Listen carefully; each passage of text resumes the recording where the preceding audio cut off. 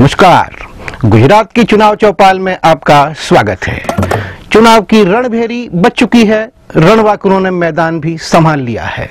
जीत हार का फैसला तो बाद में होगा, लेकिन फ़िलहाल राजनीति के दंगल में क्या चल रहा है, आज हम इसी पर चर्चा करेंगे।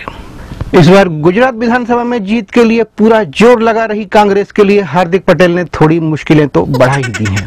दरअसल, हार्दिक चुनाव में एक दर्जन से ज़्यादा सीटें चाहते हैं, जबकि कांग्रेस उन्हें आधा दर्जन सीटें देने के लिए भी राज़ी नहीं है। दूसरी ओर, ठाकुर सेना के नेता अल्पेश ठाकुर भी कांग्रेस की नाव में सवार हो गए हैं। अल्पेश ओबीसी से ताल्लुक रखते हैं, जिनकी जाति का ओबीसी में 30 फ़ीसदी हिस्सा है। इन दोनों ही नेताओं में विरोधाभास भी हैं। हार्दिक पटेल, जहाँ पाटीदार आरक्षण के लिए लड़ाई लड़ रहे हैं, वहीं अल्पेश ठाकुर आरक्षण के खिलाफ हैं। अब देखना यह होगा कि कांग्रेस किसके लिए ज़्यादा टिकटों का आरक्षण करती है। अब अल्पेश ठाकुर की बात चल निकली है तो आपको यह भी बता दें कि उन्हें तो उनके ही कार्यकर्ताओं ने झटका दे दिया है। हुआ यह है कि गुजराती नववर्ष के मौके पर उनके संगठन ठाकुर सेना के प्रमुख नेता चतुर सिंह समेत 200 सदस्य भाजपा में शामिल हो गए हैं। इन लोगों को इस बात का गुस्सा था कि सामाजिक आंदोलन चलाने वाले अल्पेश राजनीति में उतर गए। अब यह तो चुनाव परिणाम के बाद ही पता चलेगा कि कांग्रेस अल्प से ज़्यादा की ओर बढ़ती है या फिर भाजपा की चतुराई इस बार भी चलेगी। अब जब दोनों ही पार्टियाँ चुनावी दंगल में खम ठोक कर उतर ही गई हैं, तो जो आजमाइश भी होगी और शक्ति प्रदर्शन भी होगा ही। कांग्रेस प्रवक्ता प्रियंका चतुर्वेदी को ही लें। उन्होंने ट्विटर पर लोगों को यह बताने में देर नहीं लगाई कि कांग्रेस उपाध्यक्ष राहुल गांधी अकीडो में ब्लैक बेल्ट है। अकीडो जापानी मार्शल आर्ट है। उन्होंने यह भी बताया कि प्रधानमंत्री नरेंद्र मोदी फेकिडो में गोल्ड बेल्ट है। अब आपको यह बताने की ज़रूरत तो नहीं है कि मोदी के विरोधी उन्हें फेंकू विशेषण से नवाजते हैं। प्रियंका को शायद उम्मीद नहीं होगी कि उनका यह वार उन पर ही भारी पड़ जाएगा। उनका ट्वीट करना था कि लोगों ने उन्हें ट्रोल करना शुरू कर दिया। उन्हें चापलूफ तो कहा ही, राहुल गांधी पर भी तीखे हमले किए।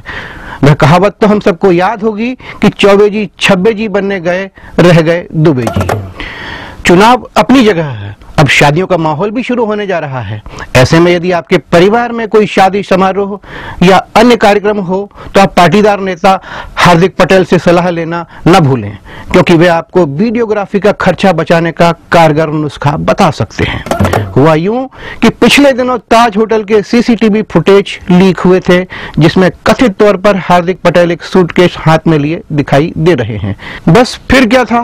फुटेज देखकर हार्दिक का हृदय भारी हो गया, और उन्होंने ट्वीट कर दिया कि यदि आपको शादी पार्टी में वीडियोग्राफी का खर्चा बचाना है तो ताज में इस तरह के आयोजन करें। अब वीडियो की क्वालिटी के बारे में तो आपको हार्दिक पटेल ही ज़्यादा अच्छे से बता पाएँगे। पार्टी की बात चली है तो चलते चलते भाजपा अध्यक्ष अमित शाह की भजिया पार्टी की भी बात कर ही लेते हैं। गुजरात विधानसभा चुनाव की घोषणा के बाद एक दिन देर रात अमित भाई अहमदाबाद के खाड़िया इलाके में भजिया हाउस पहुँच गए।